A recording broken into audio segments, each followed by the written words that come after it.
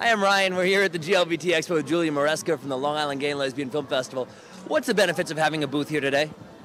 Uh, definitely exposure. It's a great way to uh, to connect with the community and to do some outreach and uh, just to get to know people. It's a lot of fun. How many different people do you think are here today?